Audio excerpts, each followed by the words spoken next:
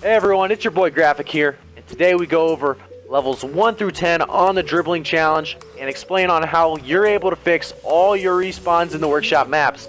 I know a lot of you are having troubles with the workshop maps after Psyonix's most recent update, and I'm here to help. Mod has created an update to help fix respawns in all workshop maps, and it also helps fix the free play resetting the ball at midfield glitch. Uh, so if you're having that problem or any other problem with the respawns after the most recent Psyonix update, this update from BakkesMod will help. So if you're not having any problems, just skip forward about a minute and you guys will be right into the best way to improve your dribbling mechanic in Rocket League. Alright guys, now that you have the file downloaded, the bakkesmod.dll, we're going to want to move it to this location right here. Uh, I will link this location um, in the YouTube description so you guys are able to get there faster uh, so you don't have to go searching around for it. Uh, but first, you will actually have, I'm going to move it over there real quick, you will actually have a bakkesmod.dll file already in there. You're going to want to delete that and then replace it with this uh, new bakkesmod.dll file that will be linked in the description for you guys to download. Uh, this is from the BakkesMod, Bacchus Mod um, Discord. So they've got a fix for all the workshop maps and making the training pool explosions not uh, take place and just have the ball instantly respawn like it used to. So very helpful. Um, and now we'll get back to the dribble challenge workshop. All right, guys, today we got another video going over the workshop map dribbling challenge number two by French Fries in the Workshop. I'm pretty sure it's only for PC players, so you Xbox, PS4 players, I'm sorry about your luck, but this is probably one of the quickest and fastest ways to learn how to dribble correctly. So here we are. Uh, new mode, impossible mode has been added, timed only. Whenever you fail a level or reset, you go back to level. Good luck repeating that sucker. So obviously I'm not to that level.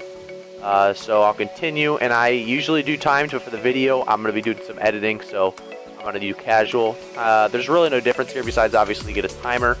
So I suggest everyone just do time. There's no real reason not to.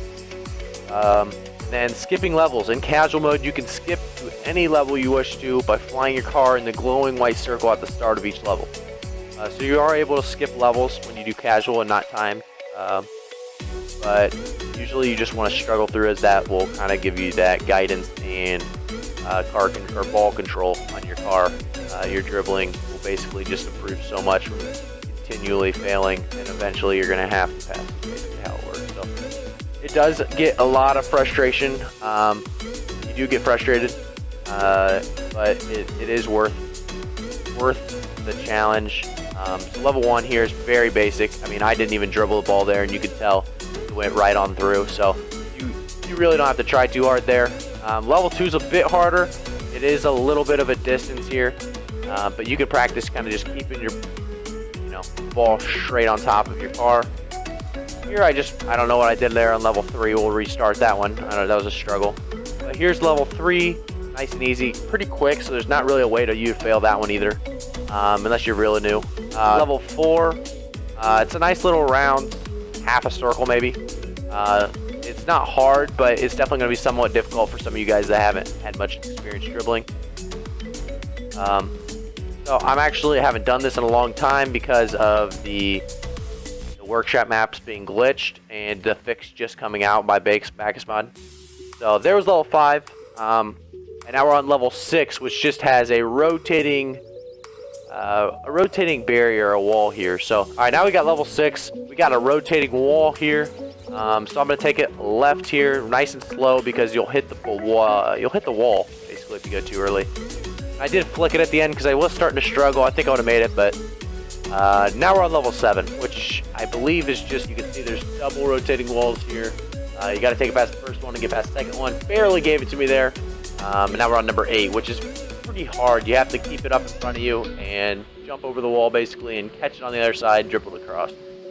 Um, this is number 9, which is probably one of the most difficult ones uh, to master as you do have to bring it up a hill and back down the hill without dropping it and secure it all the way back to the end. Um, and now we're back on number 10. Uh, this one, you pretty much want to carry it all the way to the edge, double jump, recover, catch, and bring it to the goal, and you made it. Alright guys, thanks for catching today's video uh, on how to improve faster using the workshop. Uh, today's was the dribbling challenge, levels 1 through 10, showing you guys how to improve a little bit faster and giving you guys the update on how to fix them respawns so you guys can get back in the action with them dribbling challenges and other workshop maps. Appreciate it guys.